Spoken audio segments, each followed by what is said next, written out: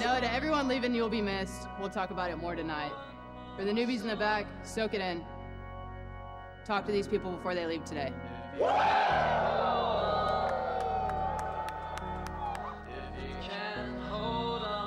All right. Good. What's up? Three. Five. Six.